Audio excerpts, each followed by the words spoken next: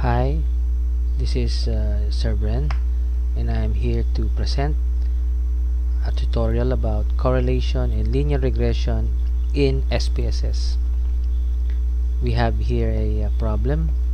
So, so we have a 20 observations and in each observation we recorded the sound level in decibels and its blood pressure rise. Okay. So here we are tasked to find if there's a relationship between two factors sound level and blood pressure rise at alpha 0.05 which is the level of significance at 95% confidence interval. So let's start. All you have to do is to highlight this then copy paste press ctrl C then go to our SPSS data view and then control V. As you can notice that we have not yet uh, changed the label. So we are going here at the variable view. In the first row change this into observations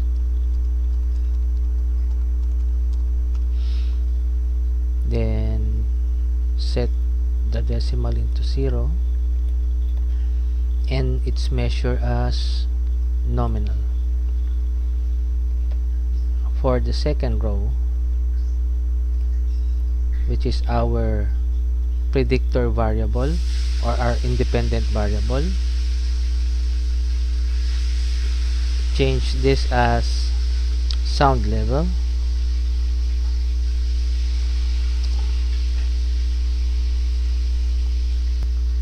set its decimal to 0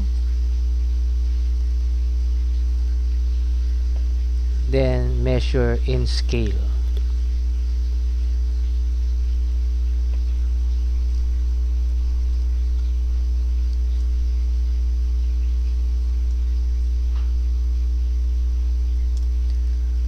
And then in the third row which is our criteria variable or the dependent variable change this as blood pressure rise.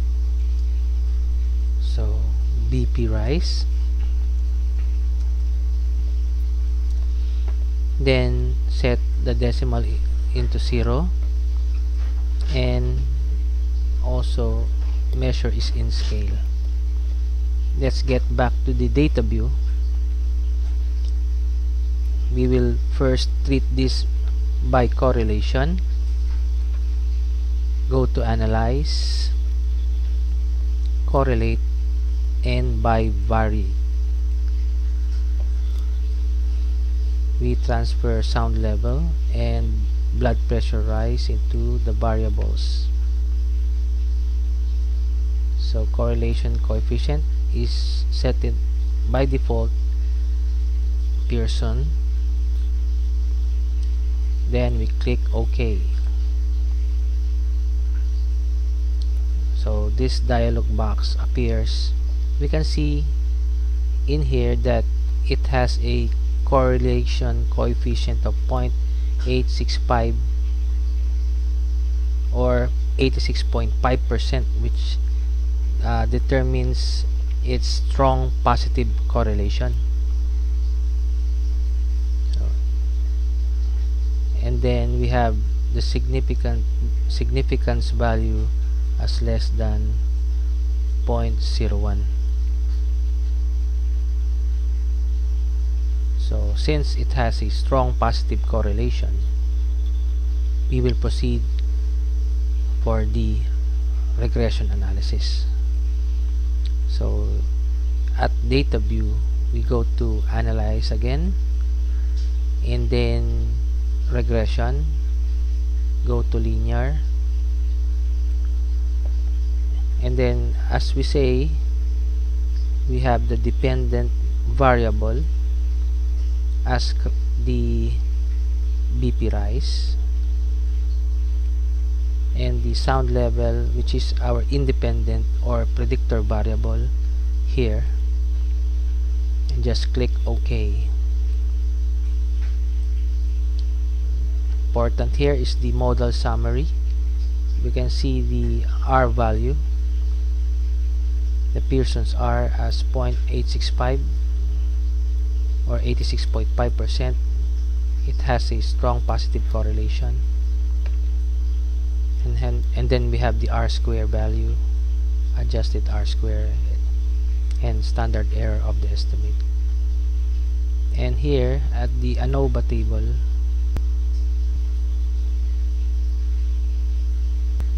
we can see that the predictor line has a, a slope of 0.174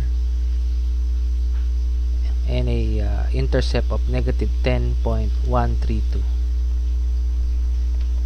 thank you very much. Hope you have learned from this lesson. Don't forget to subscribe and I will see you on my next video. Goodbye